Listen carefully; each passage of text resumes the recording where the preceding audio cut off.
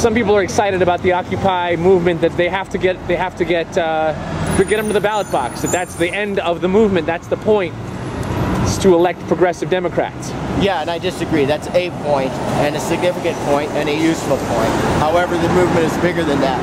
Um, it behooves both progressive Democrats and people in the Occupy movement to cooperate with each other, learn from each other, communicate with each other, work with each other on key issues and key pivot points. However, uh, the movement is bigger than that, and as well it should be, you know, because it's not just about winning an election cycle. The elected officials need these guys more than these guys need the elected officials. I think they have to send that message, and that is a message of clout. Why do you think the elected officials need these people? Well, I think that's a situation that would be useful for them to create, uh, because that's how you get response. You know, I think I think where the rubber hits the road, if you are going to get what you want from elected officials, you have to make them need you. That's power. Um, so what they have to do is. Uh, be a vote generating machine. So they so they do have to be. I think so, but they but, but they have to. I mean, they should hold their votes for ransom. They should basically and, and, and they need to be a lot tougher than people who just go along with either party and say, oh yeah, I'll go and I'll help and I'll do whatever you want, and then after the election's over, their needs are not met. You know? So if these guys are going to say, look, you know, we have all these people, we are the 99%, and if you want our help and our cooperation, you have to meet our needs and then we'll deal, then that is a good strategy to have.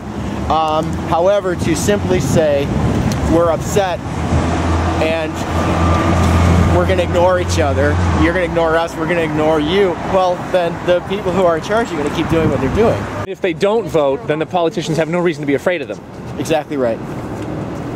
They have to, they have to somehow influence the system in a way that makes the system change. And um, it seems you know, like they, you have two levers can, for that. The two levers are either money, which the right uses in great effect, right, or, right. or votes. That's right. That's right, votes. There's also um, influence in other ways, you know, all the traditional democratic ways of petitioning your elected official, protests, marches, communications, all that stuff.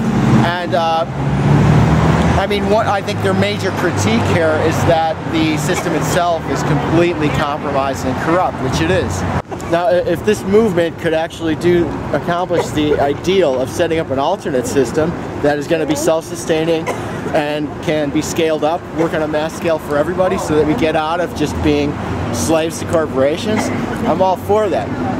However, you have to hit critical mass on that and that's huge because that means that means complete revolution and uh, that's a long, long, long-term project. On the other hand, to the extent that the existing system can be reformed and made to be more just, which it has been at different historical points in this country, why don't we go back to some of those historical points in this country when the system worked pretty well for a lot of people?